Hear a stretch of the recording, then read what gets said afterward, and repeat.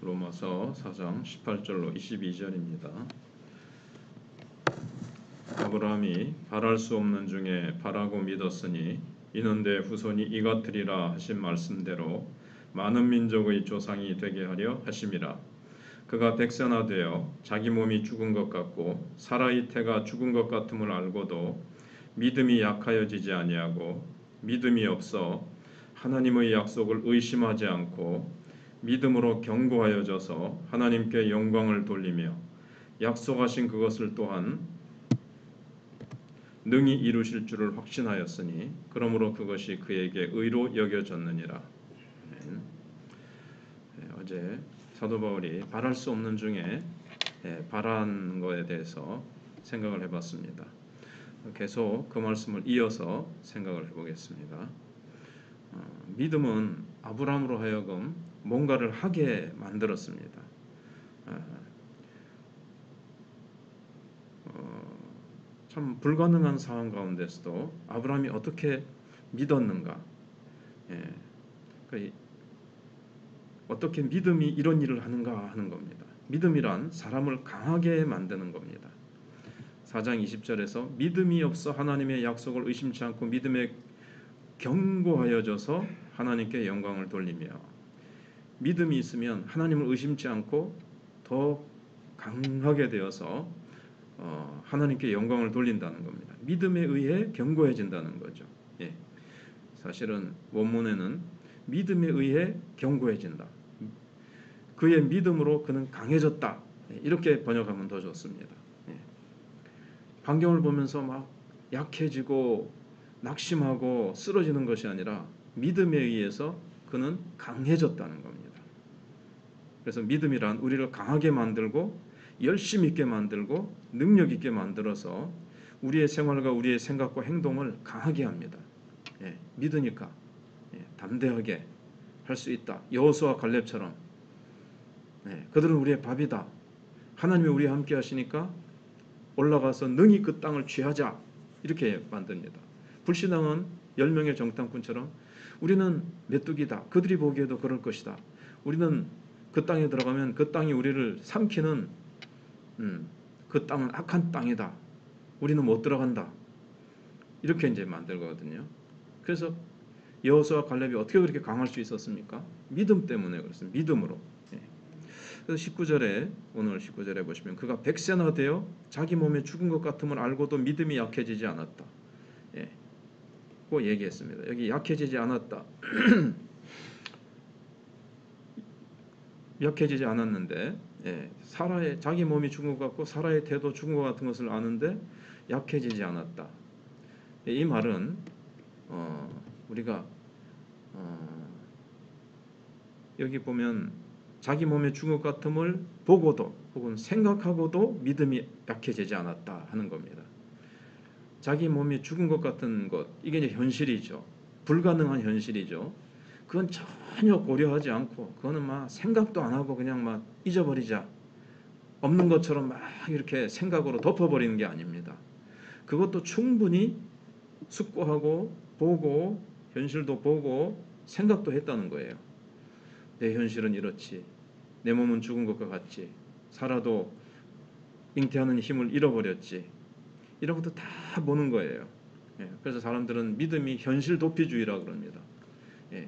예, 현실의 그 어떤 고통과 현실이 주는 어려움을 마음으로 이기기 위해서 그냥 사실은 그냥 어디 주님을 의지하면서 그걸 이겨내자 뭐 이런 도피주의가 아닙니다. 엄연히 아브라함은 현실을 직면했다는 거죠. 우리 믿음은 현실을 직면합니다. 그래 이런 어려움이 있고 이런 어려움이 있고 이런 것을 논리적으로 합리적으로 이성적으로 생각하면 그래 불가능해.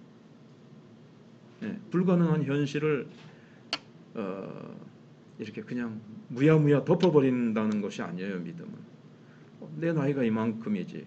내 아내도 나이가 이만큼이지. 그래서 못 나는 것을 그도 알아요.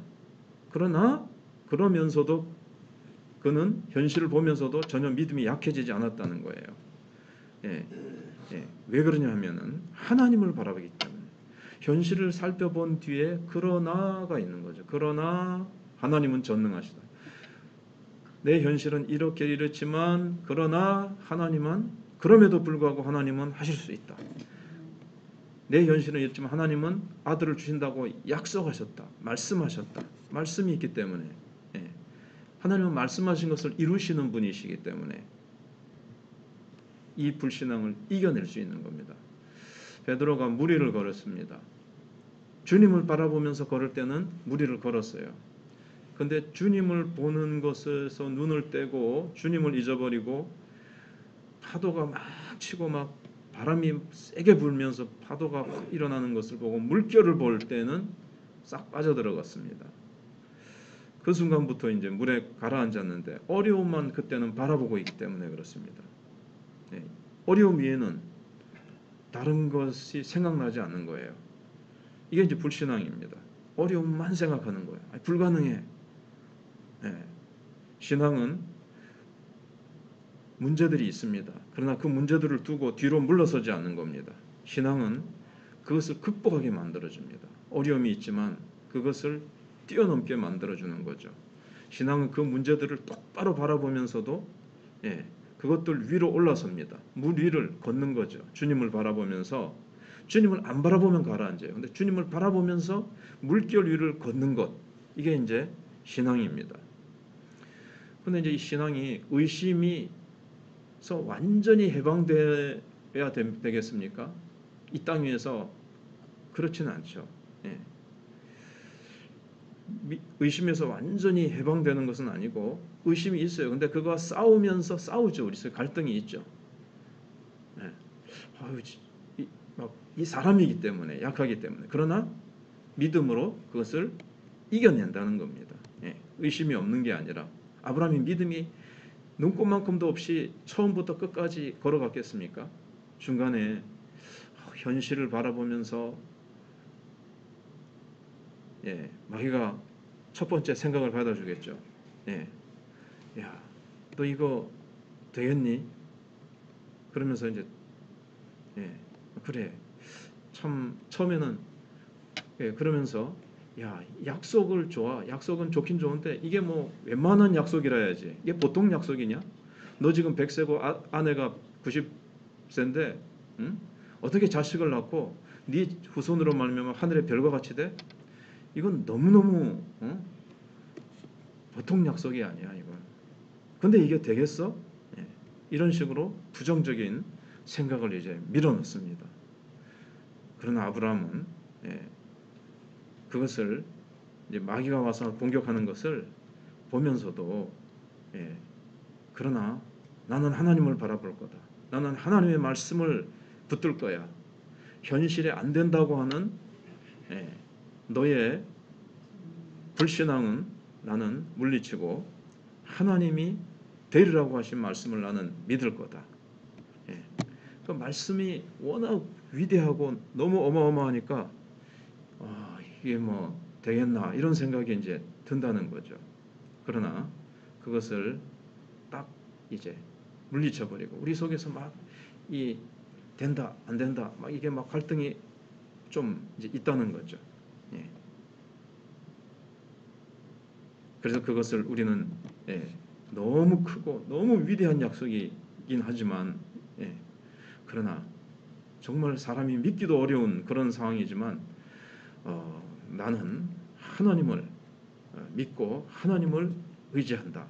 이것이 바로 예, 믿음입니다. 이것이 믿음이고 예, 아브라함은 뭐 잠시 현실을 보면서 그런 공격이 사단이 있었지만 그러나 주춤거리지 않고 거기서 막 계속 흔들거리면서 계속 그 자리에 머물지 않고 아브라함은 믿음으로 전진했던 겁니다. 이것이 믿음입니다. 그래서 믿음은 우리를 강하게 만들어 줍니다. 우리를 강하게 만들어 주고 마귀는 의심이 오도록 자꾸 조작을 할 겁니다. 에베소 6장인 대로 마귀는 우리를 향해서 의심의 불화설을 자꾸 던 쏘아댑니다.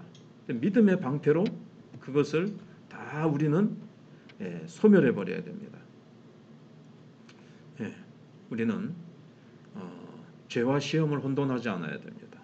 예, 시험, 예, 예수님도 시험을 당하셨어요. 그러나 예수님은 죄를 범하지는 않으셨습니다. 그러니까는 어, 새가 내 머리 위로 지나가는 것을 막을 수는 없습니다.